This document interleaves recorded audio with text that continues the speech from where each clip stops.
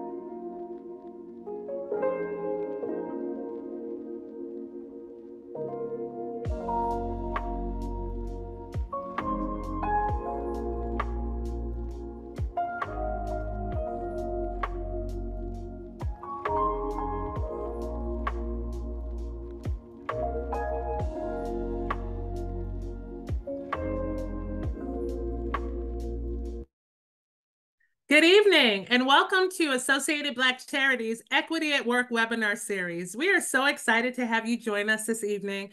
My name is Chrissy Thornton, and I'm the president and CEO of ABC. And all year long, we have brought to you this exciting webinar series all about empowering people of color to navigate structural racism in the workplace, but also to inspire our allies and corporations to be more inclusive.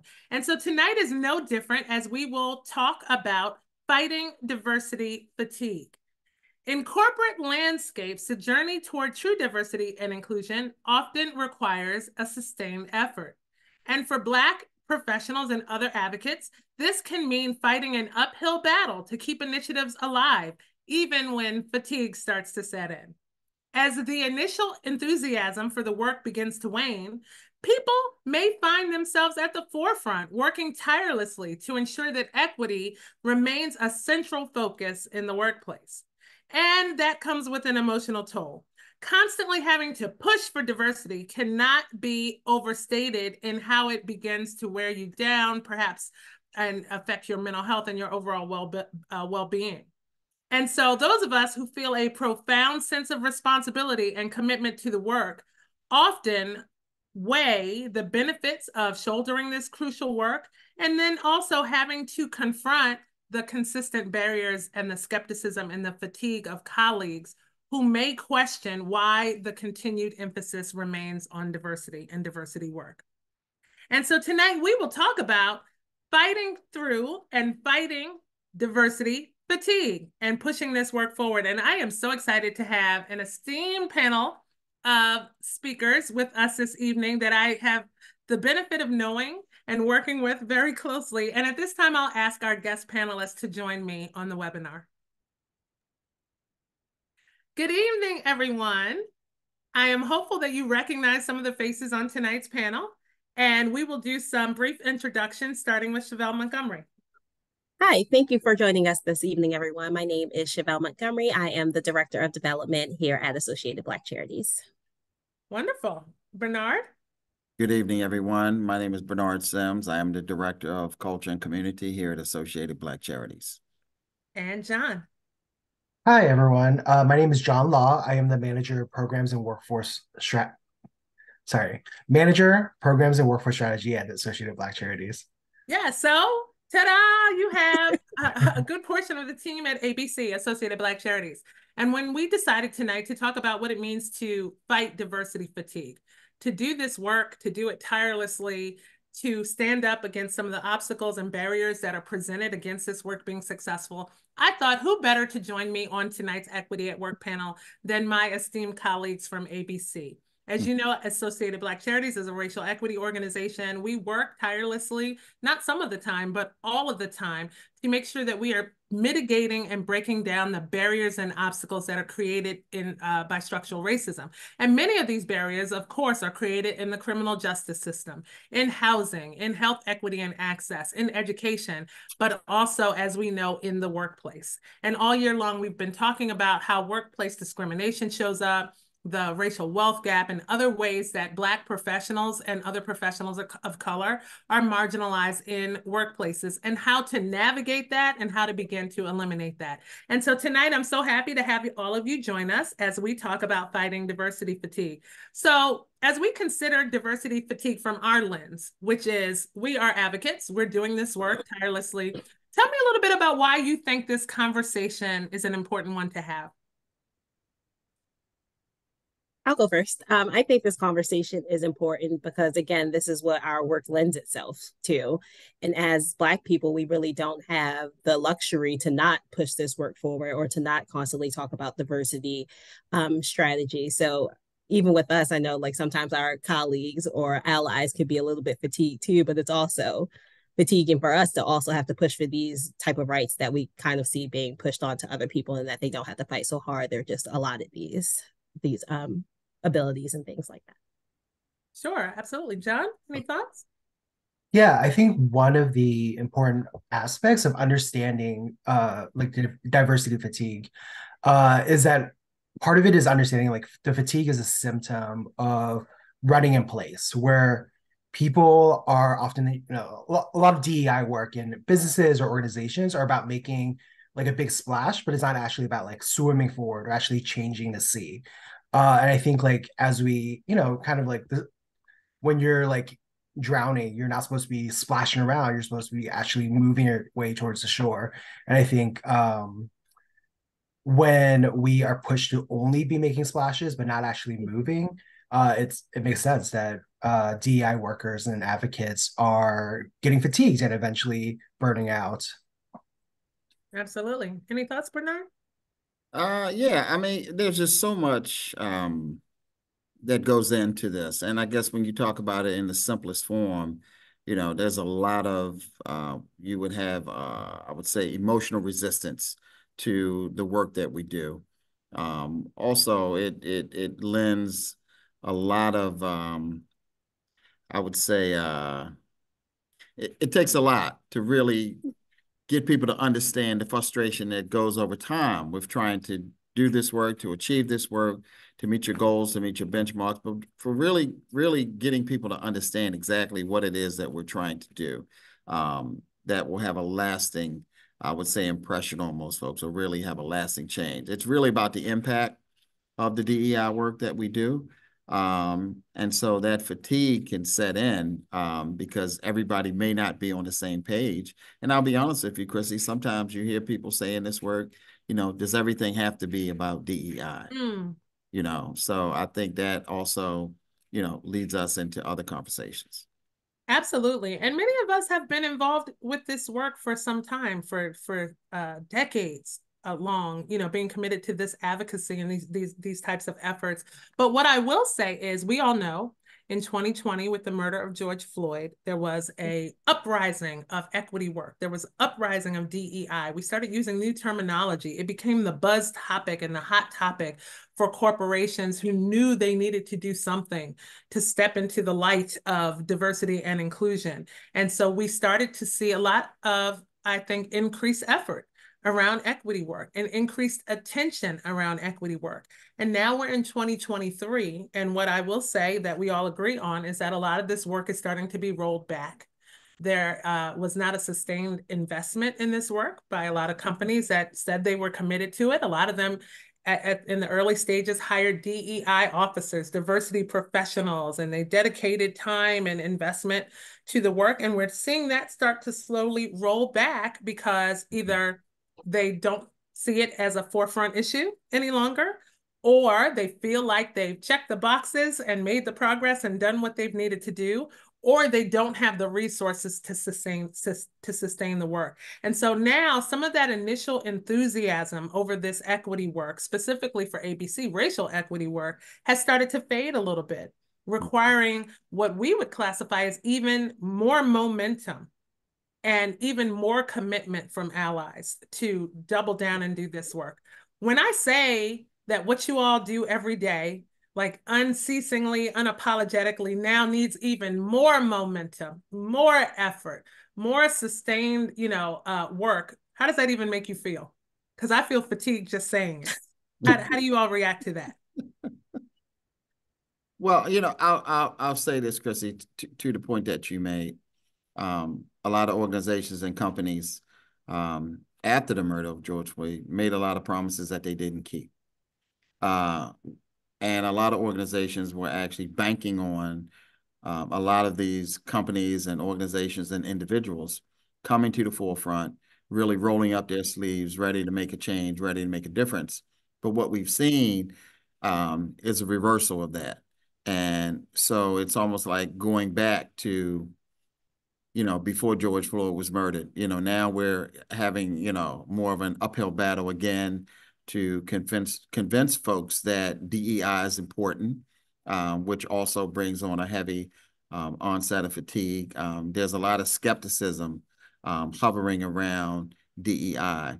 Um, everybody became a DEI professional mm -hmm. after the murder of George Floyd, or a so-called professional um, you know, just which caused, I think, a lot of misinformation to be put out there exactly what DEI was all about. So I think, um, you know, for most, they have to figure out how can they make a positive change through the lens of this DEI work. And when you look at um, a, a, an, an historical perspective of this DEI work, um, can we really see how far the needle has actually moved?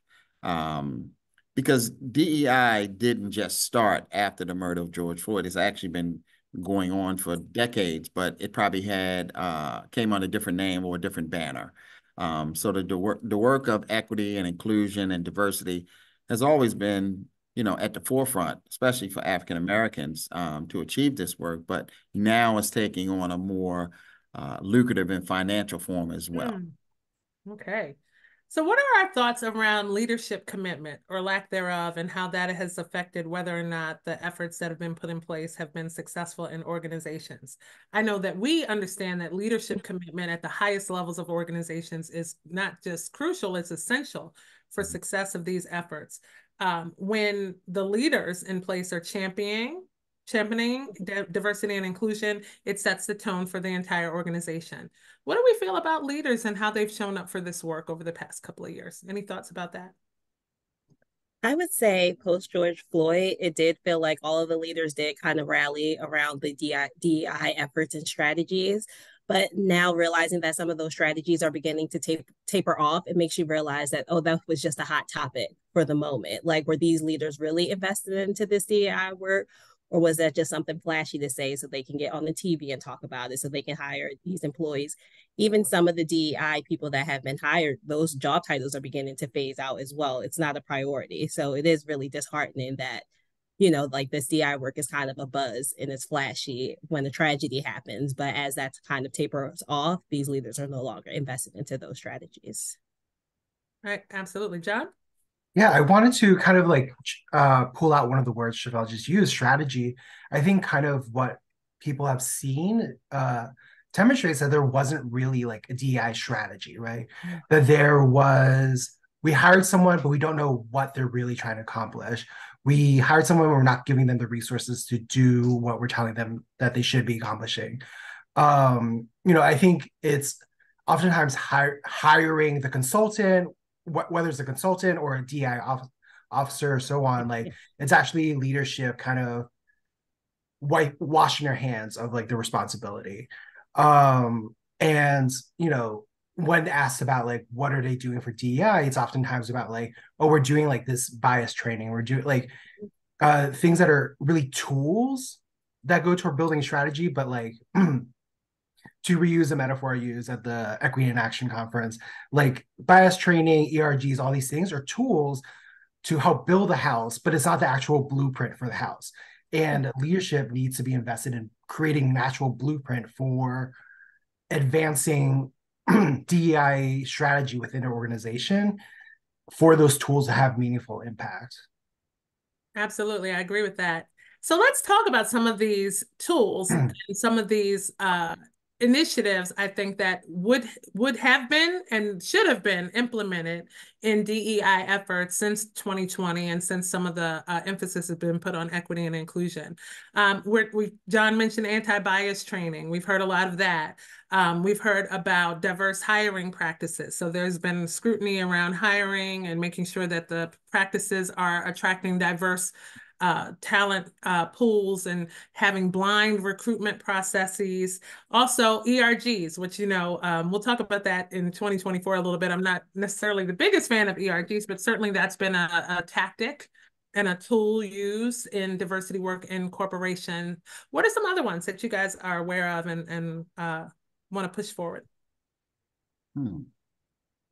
Um, I would say the implementation of diversity and inclusion specialists, as John mentioned, having those people who have job titles specifically um, for diversity and inclusion efforts um, in different education and training programs, as you mentioned. Um, some of those strategies and trainings um, have also been implemented and have been well. But again, as John mentioned, those are just tools and not necessarily the blueprint to creating the strategies around DEI.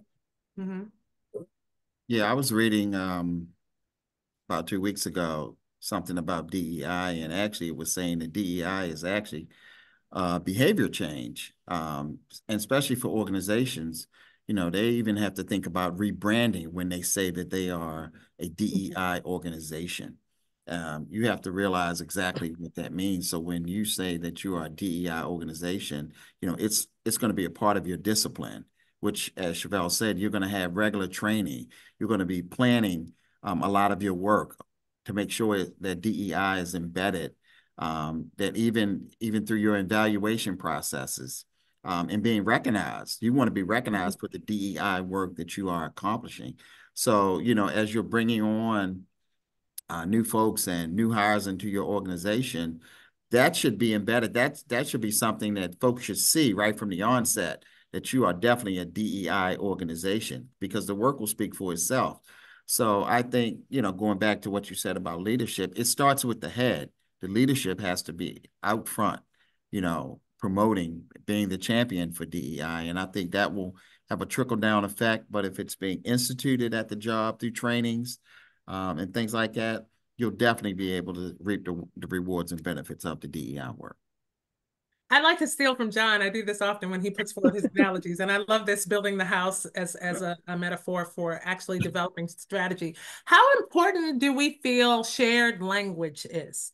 Hmm. Vernacular, like shared understanding of terminology, because I think that's where a lot of the strategy goes wrong, right? Like where we start talking about DEI and what does that reflect, and how is equity different than equality, and how is racial equity different than DEI, and um, you know how important is it when you are setting strategy for your equity efforts in an organization to establish shared terminology? And how do we think that may be impacting some of the work we're seeing? Hmm. Yeah, I think it's uh it's vital to the work, right? Because um you know something I say a lot is like how you define the problem defines the solution.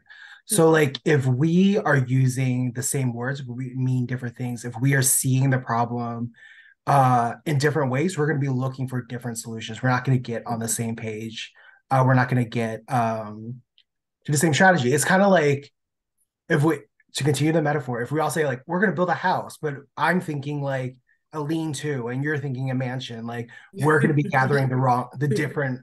Uh, we're going to be hiring different people. We're going to be buying different materials, um, and getting on the same page with definitions and knowing like. And I think part of that is like I think people sometimes get stuck on like finding the perfect definition. Mm-hmm. And oftentimes it's like you need to find a definition that works for your organization. You don't need a definition that you don't even need a definition that stays the same. It might be like in two years you reevaluate and kind of redefine how, how you see the problem. But it, getting on the same page initially helps you define where you're going.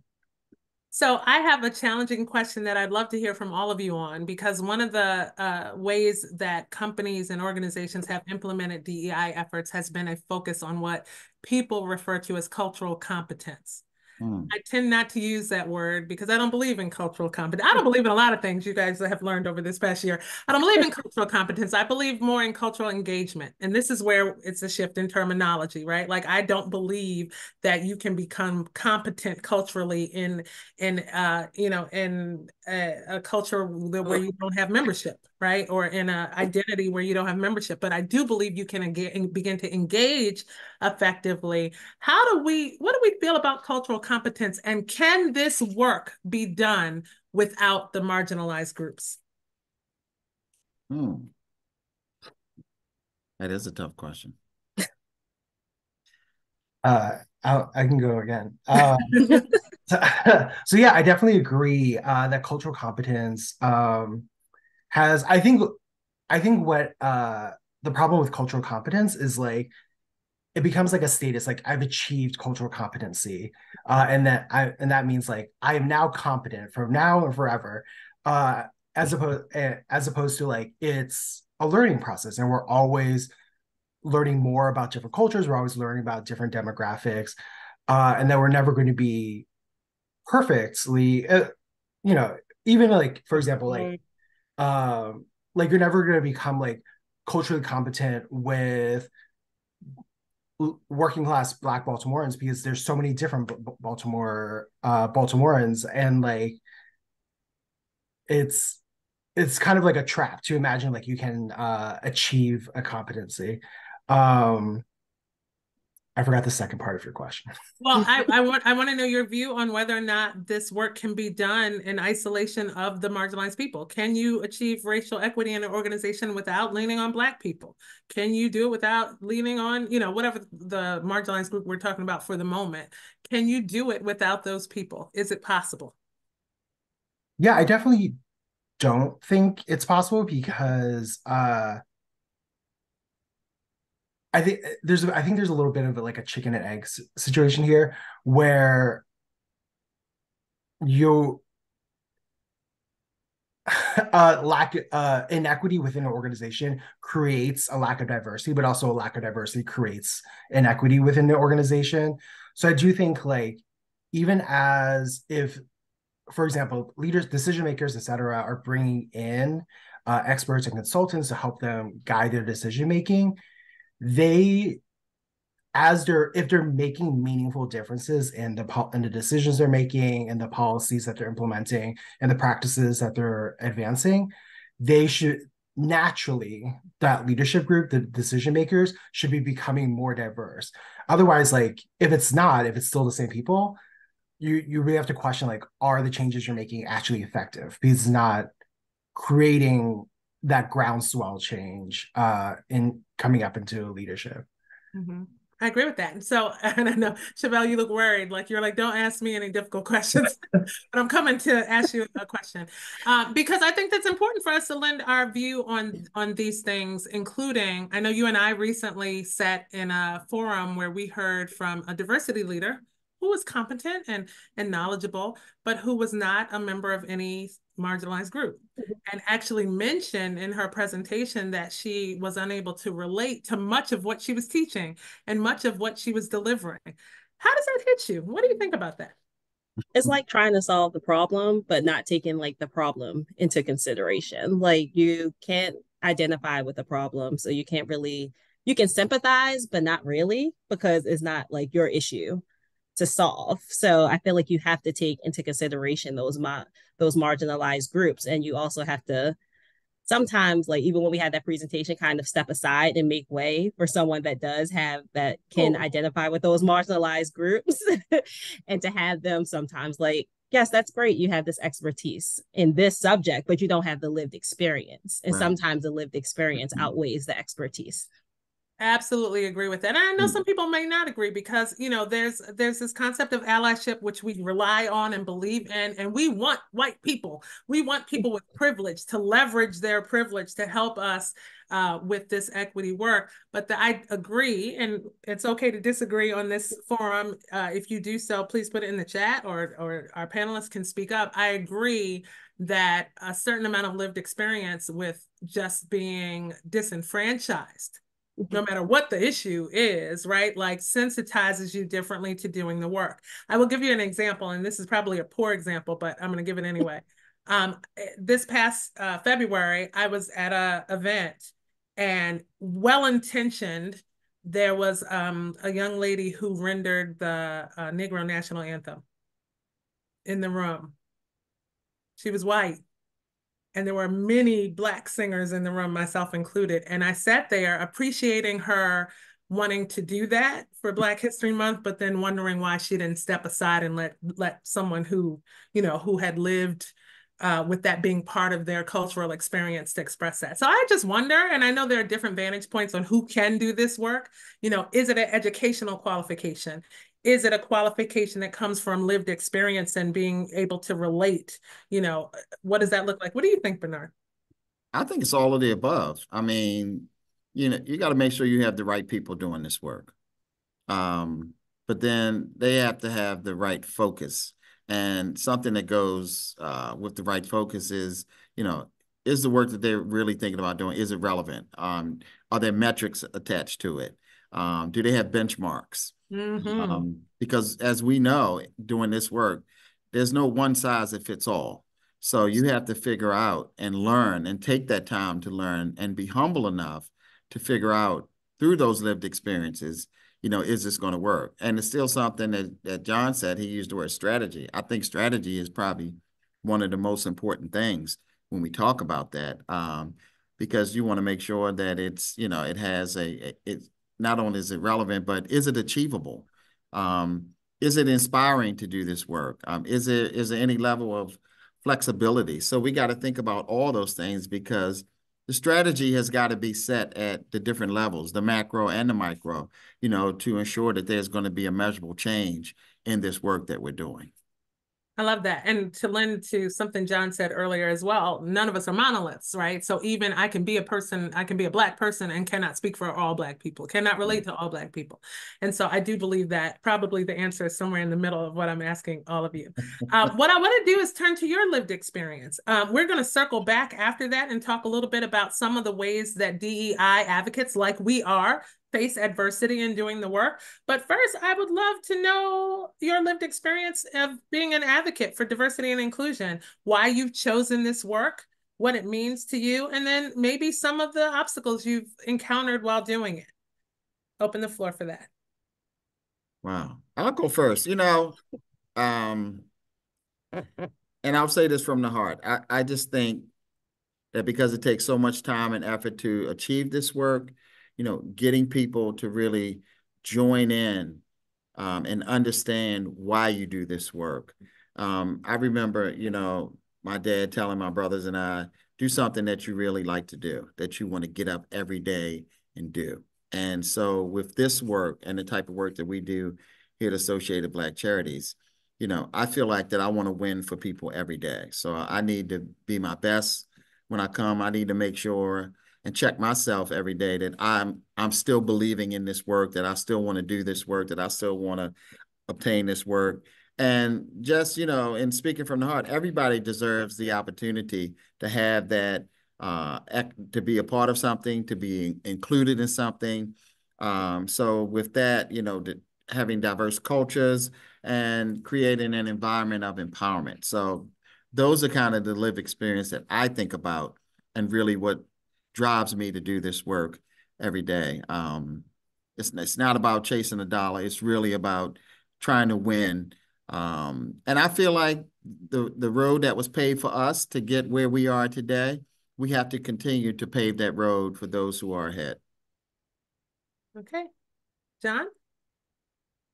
Yeah, um, I'll share a, a story. Um, so I uh, have a master's in social work.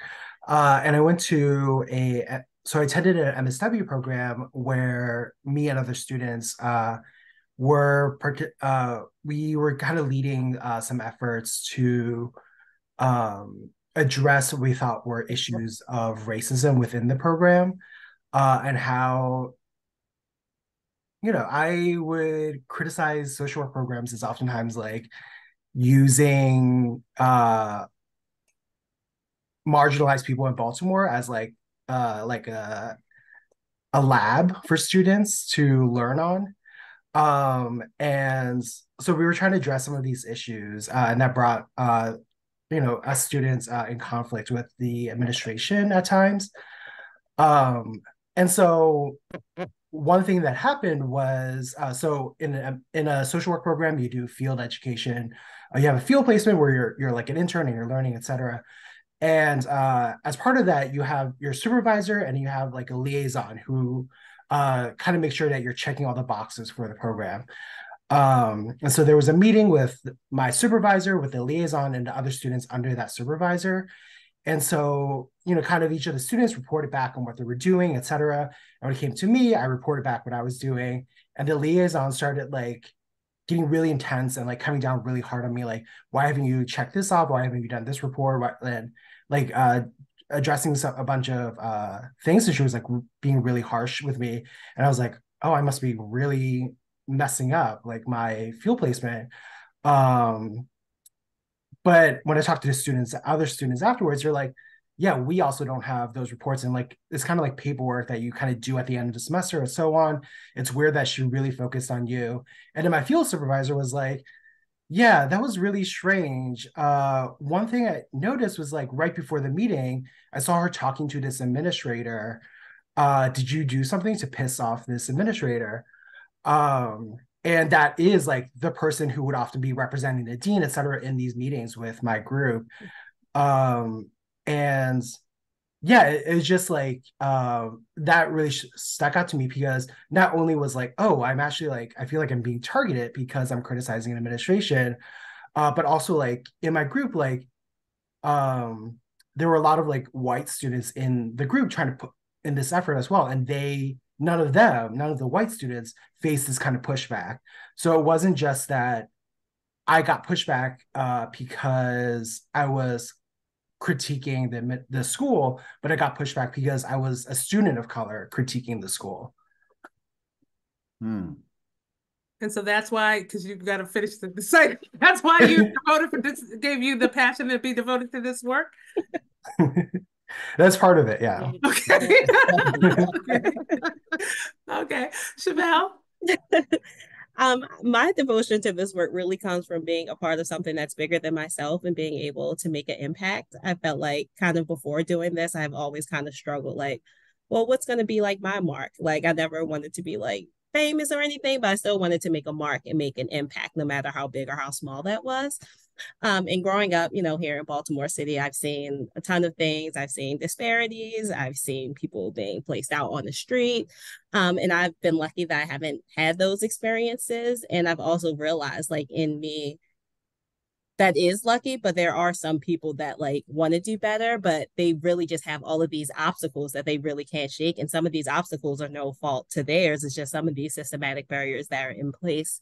So with doing this work, I feel like I'm able to help as, you know, with our mission with Associated Black Charities to break down some of those barriers and then to be able to uplift, you know, Black people and other marginalized groups as well. So this is really just my way of being able to give back, make an impact in the lives of Black people and begin to break down those barriers to also, you know, make a better future for my daughter and husband as well. Perfect. So you all have devoted yourselves, your careers, your professional lives, and probably much of your personal lives to this equity work. And now let's talk about some ways that equity advocates whether you do it professionally or you just do it because you're civic minded and you want to push the work forward, uh, face adversity in trying to do the work. Um, you know, what are some of the ways, and we'll talk about them, that as we push our cause forward for inclusivity, for equity, you know, ultimately for liberation, um, that we begin to face I think, challenges that are because of what we're referring to as diversity fatigue. People who are saying, like Bernard mentioned earlier, enough. Like, is this all we're going to talk about? Uh, haven't we done enough? Haven't we, you know, uh, given you, you know, enough time and resources and focuses on this work? And one of the things that I used to say um, as I would do this work is it's the what about me syndrome, right? Because sometimes when you're focusing on people of color and you're focusing on disparity, other people begin to feel like that that it is at their expense and that they are being and their interests and needs are being neglected. So that's one thing that advocates might face. What are some other ways that advocates face adversity in your experiences? Um, I would say the biggest for me would be really that skepticism around it. As you mentioned, people are like, we've been doing this for three years. Like, we checked the box, we've hired a Black president and CEO. But my thinking is like, well, does that person may be in power, but do they really have authority? Do they have the authority mm-hmm. to make changes that are going to impact other people? So while you're saying like this person may be in a higher position like what type of authority do they have? Are they able to bring other people along in their journey as well? So really battling that skepticism because there's been such that big push on DEI over the past three years. People are like we checked this box. We've checked that box. Like what more could you possibly need? And it's kind of overcoming that barrier to say that this person is in position but we still need to make progress for what they're doing as well so you're talking about two two whole different obstacles combined together: the skepticism, but also tokenism, which is a mm-hmm. big part uh, that has showed up in this work as people have checked the box by putting people of color in positions of leadership, but not necessarily resourcing them or empowering them. And these people of color are considered to be representatives of their entire marginalized group right? Rather than representing their own accomplishments, experiences, and expert and areas of expertise, and they check the box. So how could we possibly be a racist organization if we have Chrissy or John as the CEO? How could we possibly be a racist organization if we've hired four people that look like us on the Zoom tonight? You know, like those are those are contraindicative toward the diversity work that we're trying to push forward. So absolutely, thank you for bringing those forward. Any other areas of adversity to this work that you guys want to lift? I would say trying to, um, you know, find like-minded folks in the work or mm. um, really being able to, to find your community of folks who are thinking and on the same page as you are. Um, I think to the point that Chevelle made, you know, that's starting to scale down and shrink a little bit. You know, it's like, um, you know, you don't hear people talk about affirmative action anymore. at some point the words DEI are going to go away. People won't even use the term DEI. It'll probably be a new term uh, whenever that may be. So trying to find your community and stick with that community who's going to help move this work forward it is a, a major adversity. Um, you know, and, I, I hate to be repetitive, but it's really true. Some people just are getting tired of hearing about it and they're saying, okay, well, we need to be on to the next thing. What's next after DEI? You know, you know, we we've had Barack, um, you know, we've had this, but what's next? So um, we, we got to figure out what that next thing is. Um, so we have to be ready and prepared for that change, no matter what form it may take on. Now I'm going to ask you guys, I'm going to put you guys on the spot and ask you when you're hearing out as you're in the communities and in corporations and organizations, you're hearing people express either openly or, you know, um, just express to you fatigue with these efforts, feeling like it is cumbersome, it's too much, enough. What are your responses to that? I can tell you my response, but what how do you respond to that? How do you challenge that? I'll tell you my response is if you think it is tired talking about this stuff, right? Hiring, can you imagine living a living whole it. life where every moment of every day you know, is a, a, a, contribution to your lived experience of being, you know, a victim of racism. Like, can you imagine? And most people can't. Can you? Because we don't talk about racism enough. You know, it's not a comfortable conversation. It's not necessarily, you know, what we go to the networking events and have discourse over. It's not what we talk about at the water cooler at work all of the time. But even when we're not talking about it, as a black woman i'm always living with it i'm always second guessing what's happening around me with it can you imagine how tiring that is so if you're tired of hearing about it or listening to it can you imagine what that is so that's my rebuttal what's yours as people are constantly wondering like when is enough enough hmm.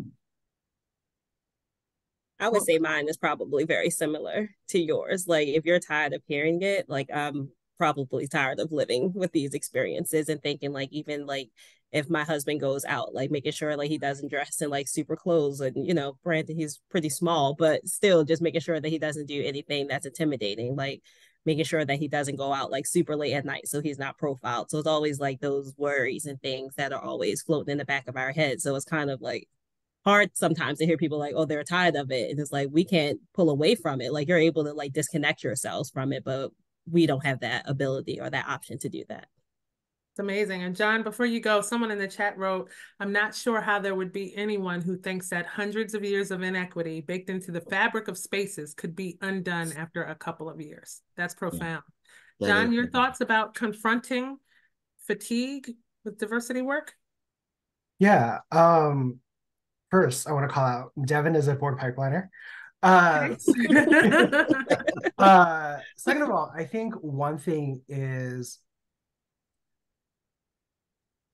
I, I want to echo everything that you both Chrissy and Chevelle just said. And I think uh, this is not like instead of, but in addition to, I think one of the reasons that sometimes you hear this from people, especially people in, you know, uh, nonprofits or corporations, is because it comes from after the years of DI trainings, et cetera, that don't then you know that we've talked about like that don't produce results mm-hmm. that are kind of like for gestures that the organization does or it's kind of like to check a box and so i think one of the things i see in like the work that i do is like when i am doing anti-racist work that i think is like impactful and meaningful, it gives me energy and it gives me momentum. And I think when we see when we're doing work and we're and we see it, it goes nowhere, that the organization kind of just like it's another checkbox that the organization has or so on. Like that is what drains energy. And when it's you know engaging with kind of like the white moderate who um will say like, oh, racial equity is an important thing, but like that's what drains my energy and so i think sometimes when people say you know I, i'm tired of dei it's the problem of the DEI that they are engaged in that doesn't feel mm-hmm. empowering, that doesn't feel impactful, that doesn't create change. And so one of the things I would say is like, you're probably feeling that way because like you're going through these trainings and you don't see anything actually changing in your organization there aren't like people aren't feeling more rewarded people aren't more engaged people aren't um uh, there are you know the workforce is not becoming more diverse people are not being compensated better and so on. And so that's why it feels like another job duty as opposed to something that is liberating which ultimately like justice work should be right? It should be liberating uh, but it doesn't feel that way because it's being done wrong. So is justice work liberating to those that injustice benefits? Hmm. I would say yes. and I say that to say, I, say that as a as a question for you all, something that we consistently have to think about is that there's a subset of people who benefit from lack of diversity, right? And you know, Frederick Douglass, power concedes nothing without a demand because people don't want to volunteer to become disempowered. So that is the biggest challenge of some of this equity work is that the powers that be in, in the chat earlier, someone mentioned about authority and who makes the decisions and resources. The powers that be are not necessarily incentivized to prioritize this work. So as we are equity professionals and we are encouraging professionals, allies, advocates who are on the call with us this evening to continue to push the work forward, how do you fight against the powers that be not having intrinsic incentives to push equity forward. Mm. Wow.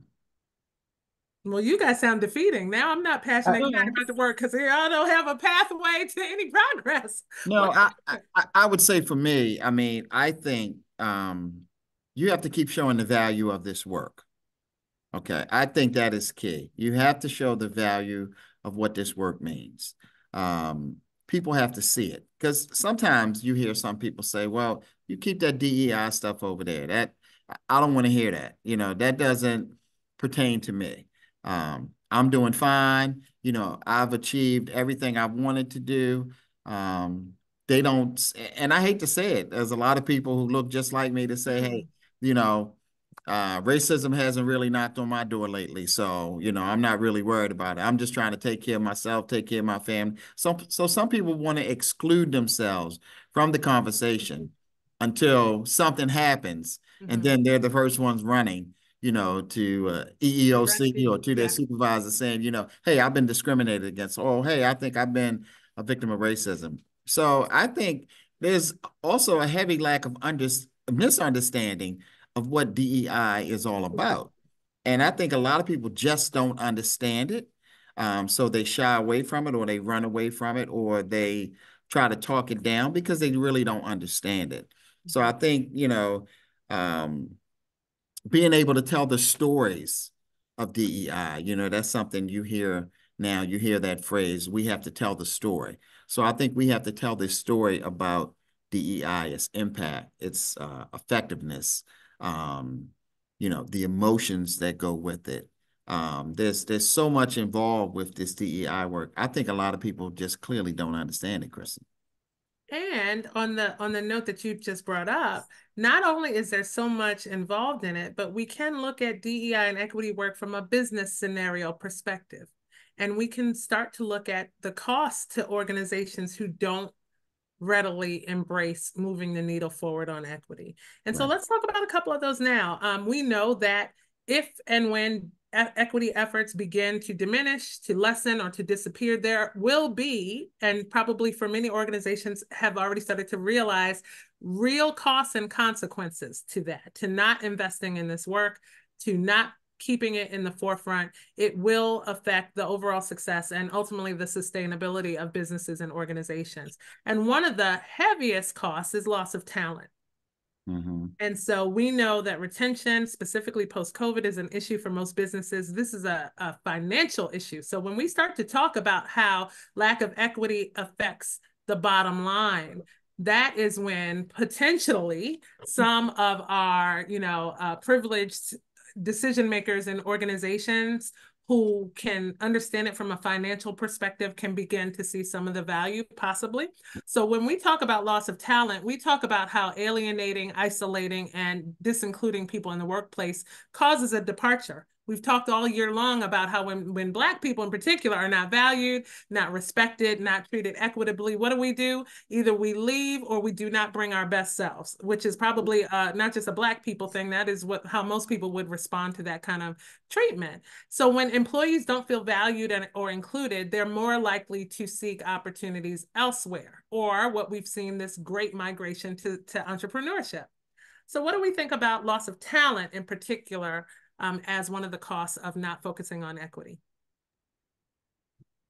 Um, I think the loss of talent greatly impacts the organization because I feel like you're not even recognizing the values that your employee brings. And we also know how much it costs to have to mm-hmm. retrain and rebring in an employee. But and that cycle will continue if you still don't put these practices into place. So if i leave and then you bring someone that's similar to me but you still don't have these strategies in place then that's just still going to lead to the next person that comes behind me leaving and it keeps you know an assembly line of employees and you don't have employees that are really invested into the work and into the mission of the organization. So then that begins to fail. It also leads to a negative reputation with the organization um, as well. And you know with this world of social media it's so easy to write a news article or post uh, tiktok and just get the word out there. So that also you know leads to negative consequences on that way and also being able to get the word of mouth about the negative reputation that the organization has at lightning speeds. Absolutely it could, be, it could be detrimental for an organization you know with that loss of talent. Um, it could be a really great company but they may just be um, kind of doing their strategies in a backward way um, they may have great intentions, but maybe have the wrong people um, doing this type of work. So that that loss of talent, you know, can be very critical and very detrimental uh, to those organizations. You know, you see these organizations now, Chrissy, are actually starting to get rid of the DEI officers at work because they will say, "Oh, well, the HR, um, you know, generalists or specialists can handle that." Um, so they're removing a lot of these folks out of these positions um, that they thought they needed, you know, between the last three and five years. But now we see a lot of those positions are starting to diminish or they're getting new cute titles um, where where it changes um, because the the focus is no longer on DEI like it used to be. So with that change, you know, that loss of talent is is is, is going to be critical and, and detrimental to organizations. Mm -hmm. Also, let's look at what it means when workforces aren't diverse. And John, love to hear your thoughts about this. We know that when there's no diversity in organizations, that there's reduced creativity, innovation, but also perspective, right? So we're talking about people who are in the workforce who are able to help the company problem solve, who are able to speak on behalf of their communities, who are able to bring forward nuanced ideas. When diversity is not valued, how do those things start to affect a company's bottom line and maybe trigger some interest from the powers that be to push diversity forward? Sorry, could you repeat that last? When we're when we're maybe having uh, a lack of diversity in the workforce that then reduces perspective, problem solving, innovation, and creativity. How can that uh, be detrimental to an organization? Yeah, uh, I think um, you know, kind of going back to uh, the metaphor we're using with like the blueprint, I think when you have um, that lack of diversity, we I think we have like tunnel vision that can happen or like groupthink where that blueprint starts to like drifts from away from like where it should be. Uh it's because like uh, so for example, like if we only have like people who like really care about bathrooms, like building that blueprint, like they're going to be building the most beautiful bathrooms in that lean-to, right? And so we need people who who like have can bring the perspective of like we when we're building this house, like we have to be looking at we need someone who is an expert in like the foundation and we'd be able to put it where it is in the ground. We need people who are able to like talk about like uh, the weather and weatherization, energy efficiency, etc. Um, and I think that lack of diversity limits the people's ability to see the problems that the organization or the business is trying to solve. Um, yeah, and I think uh, one thing, kind of going answering this question, but also going back to the previous, um, is for example, like uh, so a lot of my work is like focused on the nonprofit sector, and some of the surveys within like the Baltimore area and across nationally is that we often find that uh, people of color within nonprofits actually don't see themselves wanting to advance within organizations. They actually want to leave their organizations and they want to start their own. And um, I think that's part of like organizations failing to create this culture where they want to cultivate their own talent. And so, you know, Black workers or other workers of color feel like, why do I want to advance in a racist organization? Why wouldn't why wouldn't I take my talent and do some and build something myself? Um, and I think if organizations don't address this problem, they're going to see, you know, their most talented people leave. Because even if you have, for example, people that are theoretically included, like white people, uh, white workers, ma- male workers, etc., like oftentimes like people talented people also don't want to work like even if they're not directly affected by racism talented white people also don't want to work at a racist organization uh, and so on like and so they would also be leaving and going to the organizations being started by the black leaders who are leaving Absolutely. So let me ask this, and then we'll go on to some uh, talk about some tips and make sure that we've answered any questions that are in the Q and A. Make sure you're putting your questions in the Q and A or your thoughts in the in the in the chat. Um, what is the obligation of people of color or Black people in organizations to do this work? Is there one, or is it okay for Black people, even in a racist racist environment, to go to work, do the job, collect their check, and go home? do we carry the burden or a responsibility to be advocates for diversity and equity in our in our organizations? I can start. Um, I think we do carry the burden, but I try not to look at Black people that don't want to step up and be like the face of diversity, equity, inclusion in their space, like in a negative light, because I feel like life is already heavy enough. And maybe this work is just one more thing that like black people can't do. So i think that is important why people like our organization associated black charities and other organizations like us we step in for those people that feel like enough is enough. Like i really can't take on one more thing but then they have people like us to be able to champion for them in case there's like this is just like one more thing that they can't do some people don't feel empowered to do it as well so i feel like um it is our goal to also empower people, especially through these webinars, to give them those tips and things that they can use to eventually be advocates. Um, and they can mm-hmm. tap into that untapped potential that they don't even realize that they have. Okay. Yeah, I think you also got to be willing to be a risk taker, and everybody's not willing to be a risk taker. Mm-hmm. Um, they're waiting for you to step up before they step up, and a lot of people are gripped by fear too. Um, they don't want to be quote unquote the you know, the empowered or uh, enlightened or the woke black person uh, because they may fear that that may cost them their job. Uh, so some folks just sit silent and then they wait for you to step forward um, and let you take all the shots and arrows, you know, on their behalf. But the minute you get a big win for everybody, everybody's going to rally behind you and line up behind you. So I think a lot of people are just gripped with fear, but it is an awesome responsibility, and the weight definitely rests on our shoulders. Mm-hmm. John, your thoughts? Yeah, I will definitely uh, not speak for Black people uh, as a non-Black person, uh, but I will Thank say. You. Thanks that. Uh, but I will say, like, as you know, as an Asian person, I think it is. Uh, I have I, I sometimes have like relatively hot takes for so i do think it is an obligation of asian americans to be standing up stepping up and standing up within organizations within workplaces etc in the united states i think the advancements that the the ability of asian people in the united states to live the way in relative freedom etc uh, is because of the work that black justice workers have done in the past uh, in the past decades and past centuries. And it is part of our obligation to that movement to be a part of that. Uh, so again, not speaking for Black people, I will say, if you're Asian, you need to be you need to care about anti-Black racism in addition to racism in general. Um, and you need to be putting uh, your work, your etc. online. Yeah, I agree, John. I agree. I mean, Chevelle gave people a pass, and I'm like, no, you get no pass, right? Sometimes, and I get that some people are gripped with fear. Some people don't see themselves as advocates.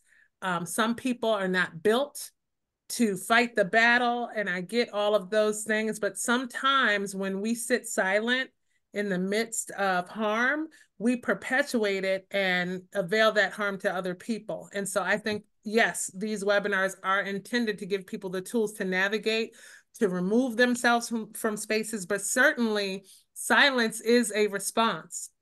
Mm-hmm. And I think when we sit kind of silently in areas that are meant to harm people that look like us, that we become complicit in some ways. And so, yes, we need to educate people. We need to empower people. We need to put systems in place to protect people um, because we can't afford to have people sitting in spaces that are perpetuating the harm that that's being done to mm-hmm. people in, in the workplace. All right. So let's see what uh, we have some comments in the chat that we can address this says most marginalized people no matter the race don't have the luxury of dealing with causes. Now that too i agree with. So i'm all over the place. So i agree with that but i also feel like we got to do something about it. It says they are often uh, focused on survival. Anyone want to comment to that? Um, I think that was also kind of the point that I eventually was trying to get to. I think, and it's also kind of a gratitude. I think when certain people reach certain levels, maybe in their career or in life, they just don't want to rock the boat. So they're just like, mm. I'm here, I'm good. Like, I know it's a little bit of injustice, but it may affect me, it may not affect me, but like, I just kind of don't want to kind of go backwards. So they kind of, you know, have that gratitude as well. And again, not everyone has that privilege to be a rebel shaker, you know, a rebel rouser, and then could potentially lose their job or could potentially be isolated. So there are a bunch of different factors I think that yeah. go into that. What do you think? But before we move on from that, what do you think builds that? Like, you know, we didn't, the four of us didn't wake up. We weren't born as like, you know, movement people. You know, what shaped our willingness and not just this job, because um, I'm assuming we all felt the, the way we feel and we're passionate about causes outside of this job and would be without this career. What feeds that? What builds that? What has changed? You know, we talk about this new generation where they're not as movement focused, right?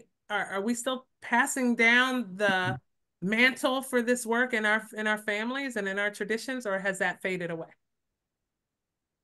Hmm. I think that well, you well, know, it says hip hop, hip hop, hip hop. NWA. Fifty years of hip hop. I I think um, you know when you look back through history, I mean, you see that um, when you think about the civil rights movement, folks were down for the cause. They were fighting. It didn't matter. Everybody was out there uh, marching, fighting for it.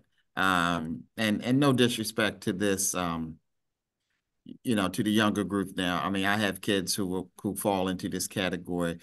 and Chrissy, I'll be honest, I just don't see that. I see the movement in a different realm. I don't see the movement um, for challenging the status quo to a certain degree.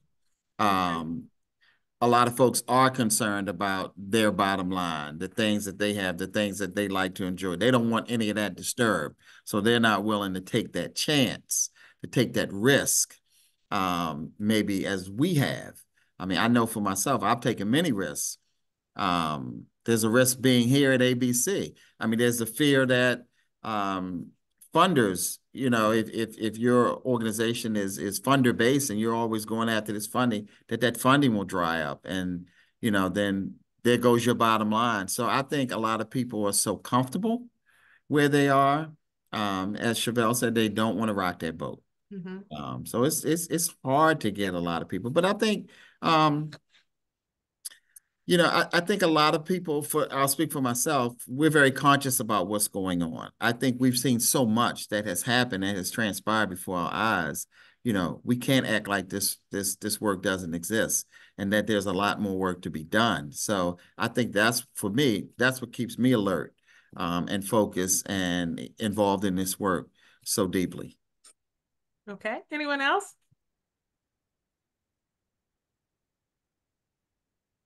I'm sorry, I forgot the question.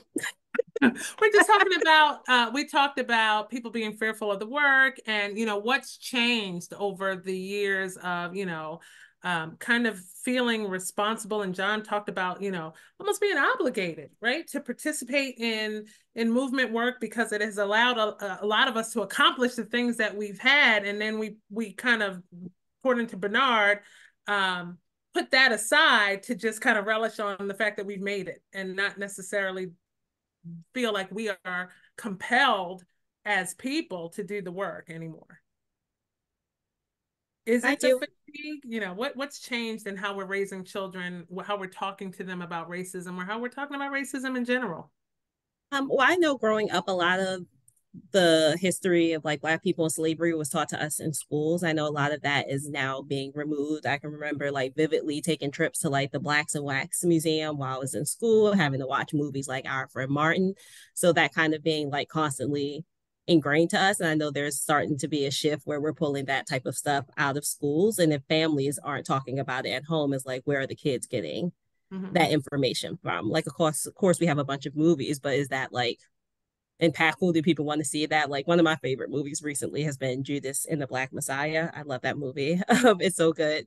Um, but what is gearing like the younger generation to view it in that perspective? Like it's kind of like, oh well we have it good now are they seeing black people being hosed down are they seeing black people getting beating are they seeing like the bombings in montgomery like what type of information are they even seeing or like even aware of it to even see that like we've made so much progress but if the progress stop, stops this is we can easily revert back to the things that were happening in the 50s 60s and and we see it right and then we all get like irate so when we yeah. see Trayvon Martin happen now it's time to rally and protest right. when we see George Floyd that and it takes that to be a constant reminder of how the world spins and I really just think it's that we don't openly talk about racism enough. And Bernard knows we've been talking this year on mm-hmm. how to avail like our constituents and our ABC community to be able to give tell their testimonies about mm-hmm. racism because when we don't talk about it, we don't put it yeah, in the it's like swept under the Some rug. people feel like it doesn't exist to the right. extent that it does uh, anymore. But I can share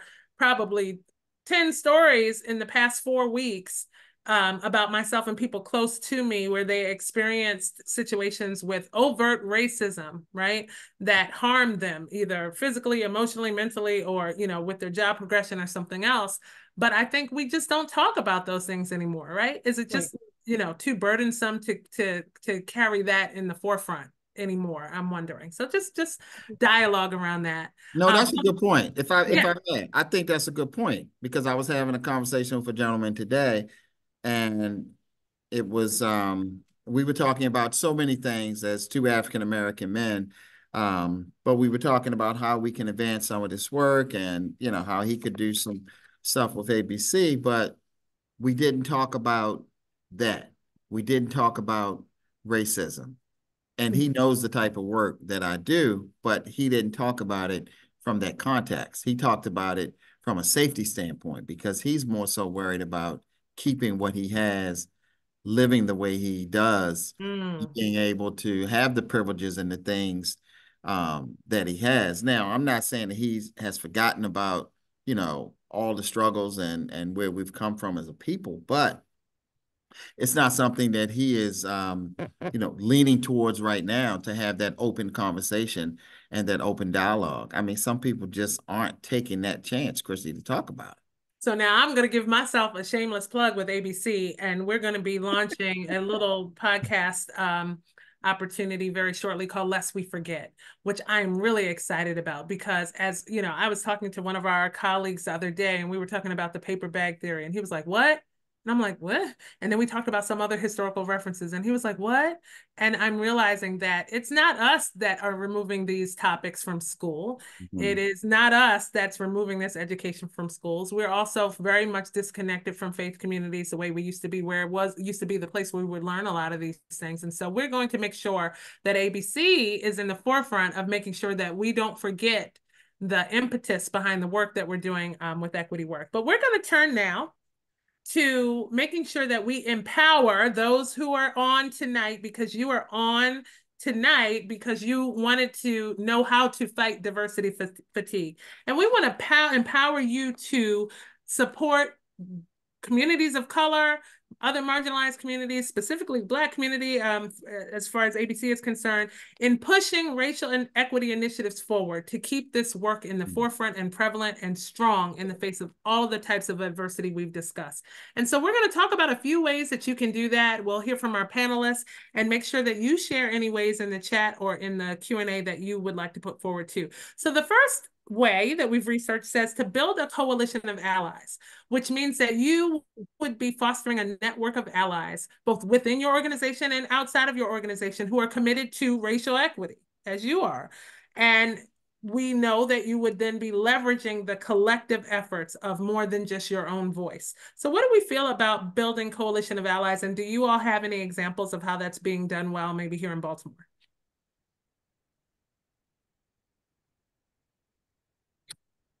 Yes. Um, and that's kind of what I a, point I touched on earlier about finding your community. Mm-hmm. Um, finding that community is actually building a coalition of your allies. You know, like-minded folks, folks who are actually doing the type of work. Um, because I think the more collaborative efforts that we have um, in this realm, we it's only going to advance the work um, even further. Um, you know, I give big shout out to um, Jamye Wooten, the work that he's doing with CLLCTIVLY. I think um, he has definitely set the bar high for this type of um, coalition of allies for bringing folks Absolutely. under an umbrella um, who do this type of work and who really care about diversity, equity, and inclusion. So he would be the example. That organization would be the example that first comes to my mind. Perfect. Any other thoughts about building coalitions of allies? Yes, I will also like to do a shameless ABC plug as well. Um, over the summer, we put together our Black Racial Equity Organization Summit, where we brought together um, different racial equity organizations throughout the city of Baltimore, just to really learn which each organization was doing, what they were doing well, which ways that we we're able to collaborate and kind of build, you know, community around the work that we're doing. Um, so that's something that we are doing at ABC. Um, we continue to meet with those organizations on a quarterly um, basis to kind of put together different efforts and just co- I'm sorry, and also just a continuation to learn continuously what each organization is continued to doing and how we can be in partnership to that organization to lend our resources and voices because we do realize that we are stronger together and as we come together as allies. Absolutely. Any other thoughts?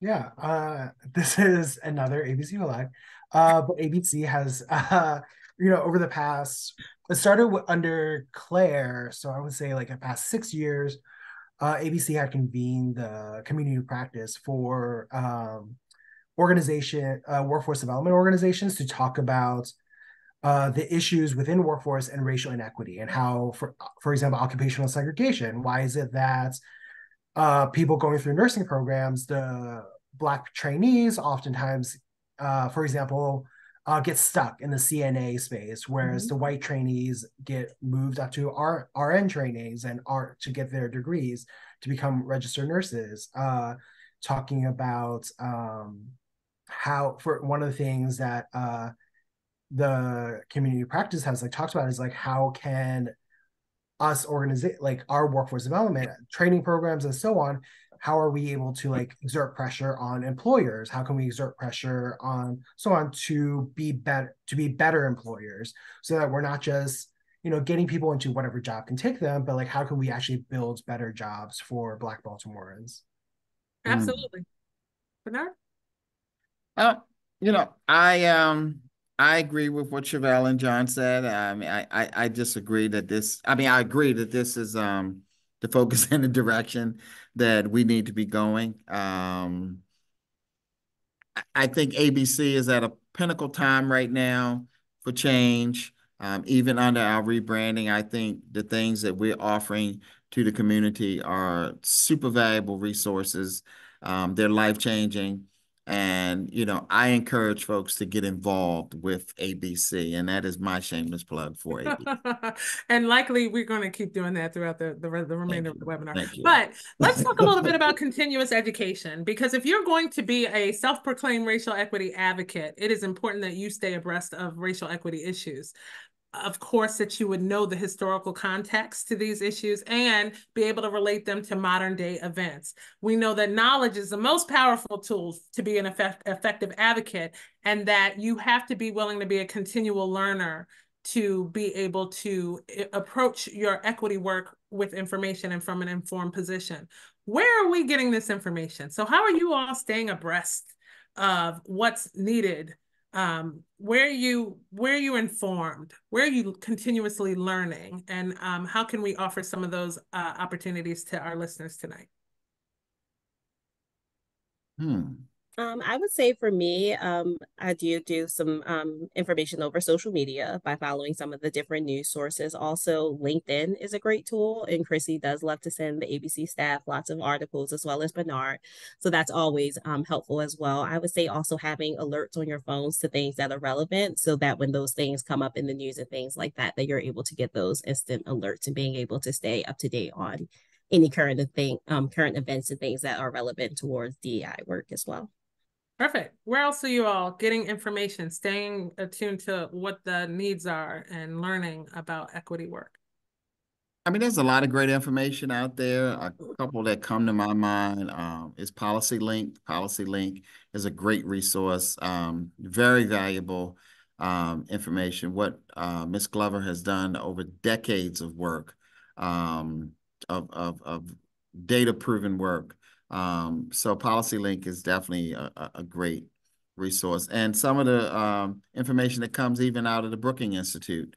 Um, mm -hmm. There's been a lot of great research that has come out of that as well. So there's a lot of good data out there um, that can keep you attuned and abreast to some of the changes and nuances that are taking place in this DI space, space because it is changing. And I think it may have been John who said it earlier, you know, in a, in a couple of years, a couple months, or maybe a couple hours, the stuff is going to change. The language is going to change. Um, so organizations like that, I think, offer some very valuable information. Uh, so yeah, I, I definitely want to echo PolicyLink. Uh, I also think the Aspen Institute has a lot of great resources. Uh, just in general, like um, I think oftentimes, like if you talk to, especially if you talk to again workers of color within uh, nonprofits, a common refrain is like, "We know the work that needs to be done. Like we know what needs to happen. It's just that people aren't willing to do it." Uh, and so I think there's a lot of great research on what has worked and what hasn't worked. Uh, I think just in general, like one of the things you I would uh, say is uh, suggest is if you look at reports that are saying things that you that are really resonating with you and so on reaching out to the people who read who wrote those reports i think are oftentimes very happy to talk about their research and can oftentimes like share additional insights uh, that maybe couldn't be published or weren't published or were cut in editing and so on. Uh, i i know i've talked to uh, over the past uh, few months like i've talked to a number of people at PolicyLink and just uh, be able to get insight into the work that they've done has been really has been really great. Yeah. And I think also none of you said this, and it's okay because I'm gonna bring it forward. But I think when you're engaging in racial equity work, the the best learning opportunities are going to be within the communities that you're advocating for.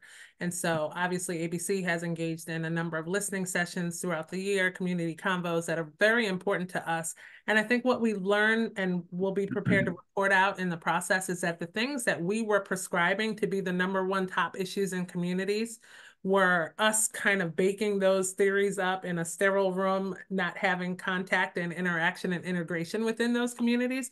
But when you go out into communities and start to talk to Black people and start to talk to this group of people or that group of people, they can articulate. If nothing, nothing else, they can articulate where their uh, pressure points are, where the issues are, what's urgent, and what's working well, which is good to know too. And so, even in your organizations, if you are being a racial equity advocate and you're advocating for people of color, um, in at the workplace, it's important to make sure that you're hearing from other people of color right. in your advocacy. And it's probably the best learning opportunity because nowadays, between social media and the news, you have to be very careful where you are gathering information um, to make sure that it's not biased and that it's accurate. Um, there are reports even of what's going on in Baltimore that would sway one way, and then you the next day you can hear a report that sways the other way. So it's important for you to actually have your finger to the pulse of different communities. So thank you guys for sharing that. And how should people in this equity work because we can't assume that because we are racial equity people that we care about diversity work that we don't also come with our own implicit biases? Mm. that possibly you know um i think shade the way we approach the work. That possibly you know may make us inadequate in how we do the work on some days. How do we start to address that so that we can be even more effective our own implicit biases. What do you think about that? Hmm. I think a big part is you know that continuous learning uh, that we just talked about. You know, continuing to like challenge how we think and so on. I think part of that is having people who uh, can be can hold you accountable and you're in how you live your life and how you do your work. Uh, you know, and it could be someone at work, but also just like you're a personal friend or a mentor or so on who can kind of check you um, and see you know you say these are your values like is how you're working how you're doing things living up to those values mm-hmm. I agree with that. I'll also add while uh, Chevelle and Bernard are, are thinking of your responses that while we understand that racism is heavy, it's unrelenting, it is, you know, generational, its impact has is uncompromising, it also isn't responsible for everything. And so I think sometimes, you know, um, our biases, even in the the portrayers of this work, make us sometimes prescribe everything to racism.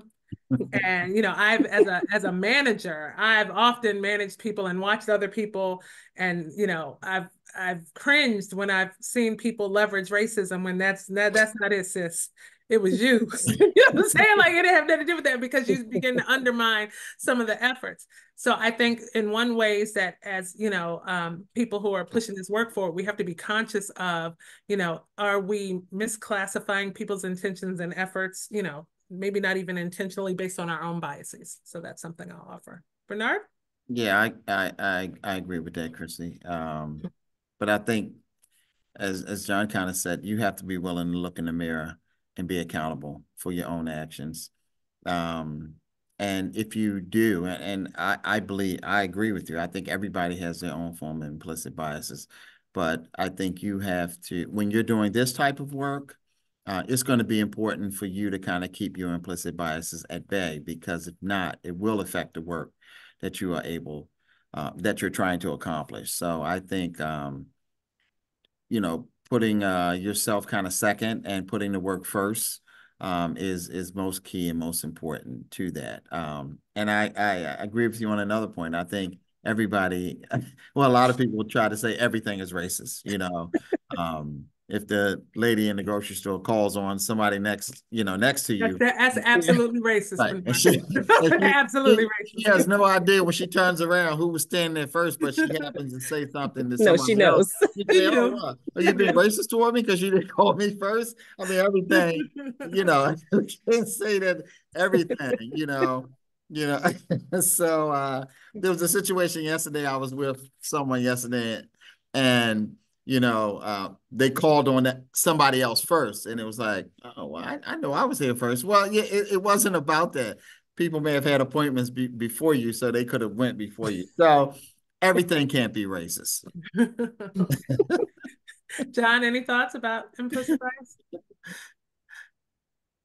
Sorry, what was that? Oh, did you already go? Yeah, it was my turn. Okay, Chevelle. oh no, so I do um, also agree with all of your points. Um, I think it is having a level of self awareness and being able to identify what those implicit biases are. So really having that kind of deep self awareness within yourself, like I know I have these implicit biases and then making sure that those don't spill over into the work that you're doing. But also, as John mentioned, having that network of people who are able to pick up on the things that even the most self aware person wouldn't even be able to pick up on and being able to have somebody that can, like John mentioned, hold you accountable. So, as we transition to get ready to close soon, before our closing statements, I want to talk a little bit about resilience and self care. And so we know and recognize that the work for racial equity can be emotionally challenging and demanding. All of us, just in, in a moment of transparency, as we got on the Zoom tonight, knowing this is our last Equity at Work webinar for 2023, eh, the ABC team is exhausted, right? um, So we know that this work can not only be physically challenging, you know, in the course of just executing the work, but emotionally and mentally challenging to advocate for other people. It takes a toll. And so we want to encourage resilience and self-care practices to help sustain your energy and your motivation. What does that look like for each of you? Hmm. Wow.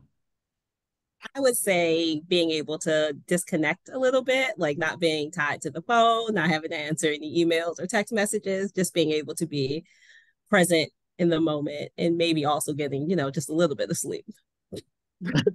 a little bit. Okay. It, it's it's it's hard work, and I think when you get the opportunity to have some downtime, you should take advantage of it. Um, you know, before your mind starts racing you know, the next morning of what he, what you have to do. Um, yeah, you just got to try to find a good work life balance.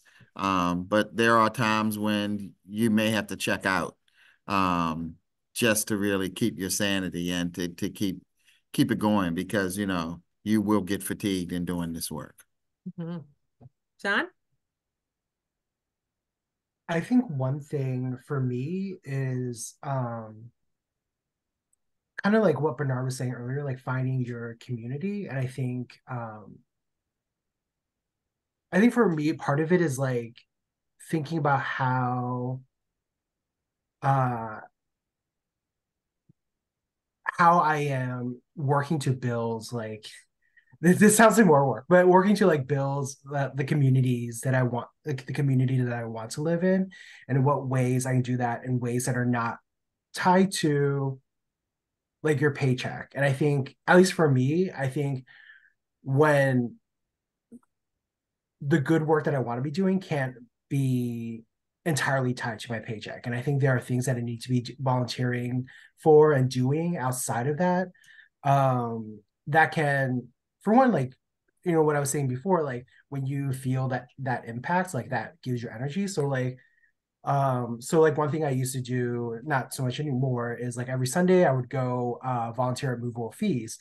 And one of the things is like it's very like, you know, it's not strategic work, it's not necessarily like transformational work, but just like filling out food trays that I know are going out to people uh, living with uh, with chronic illnesses. Like I know that it has like an immediate like impact on the world. Mm. Uh, and that gives me more energy, even though recharges yeah, yeah. in charges. Yeah. That's amazing.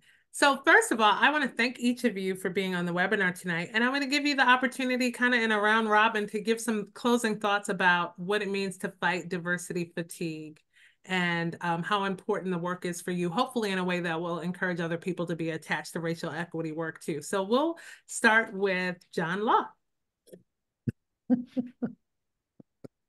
Uh, sorry, could you repeat that question? Yes, just with closing remarks on why the work is important and some some words of encouragement you can leave to empower others um, to, you know, pick up the mantle and fight and for racial equity. Yeah, I think uh, I think a big part of you know I I, I don't want to sound like uh, I'm just on repeat, uh, but I think a big part of like doing justice work, doing equity work, is being able to like envision what is that equitable worlds what is that equitable community that equitable workplace mm-hmm. that you want to live in? And knowing like how does that feel in your head in your heart in your body in your belly? Um and when you're able to like get that sense get that feeling i think that can guide like you to make sure like that the equity work that you're doing is moving you in the right direction. And that if it feels you know discomfort is part of the is part of it but there's a difference between something being uncomfortable and something feeling wrong, right? And I think when you are at the DEI training, when you're doing this work in your organization and it doesn't feel right, I think you should be listening to that. You should be listening to how it's not moving you toward uh, that how you want to feel mm-hmm. uh, in an equitable world. That's great. Great advice, Bernard. You know, mine is it mine is a little bit more simple. I just say keep fighting, keep pushing, um, don't give up. You know, know the value of the work. You know, know your own worth.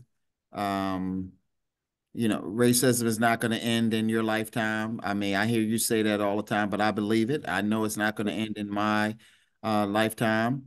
I know it will go on um, through my children and and and grandchildren at some point, but we can't stop this work. We have to continue, um, and we have to be intentional about, you know, getting up and and fighting on this behemoth every day. So I just tell people, you know, don't give up. You know, better days are ahead.